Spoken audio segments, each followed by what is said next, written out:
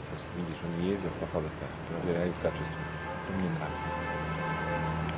Раньше этого не было контроля.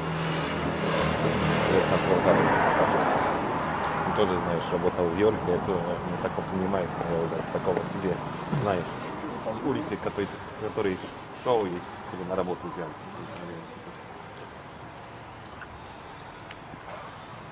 Это мне очень нравится. Все бывает, да? Это такое есть.